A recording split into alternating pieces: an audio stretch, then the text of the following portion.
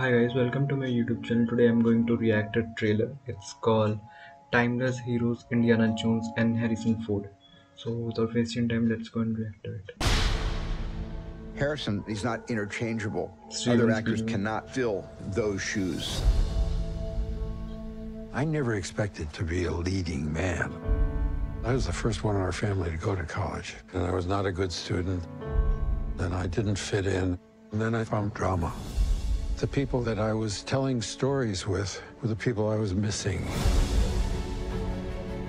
I started doing tiny little parts in television shows, and I ran out of money. And a friend of mine suggested I take a job as a carpenter. He had lived a life before he became a movie star. George and Steven, these guys were young, upcoming when they came into my life.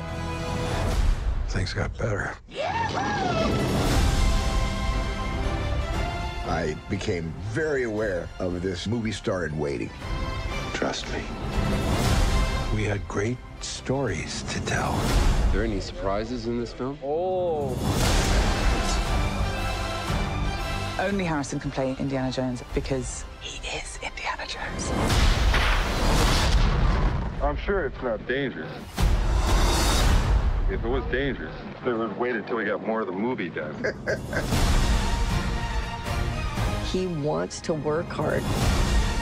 He's a once in a generation movie star.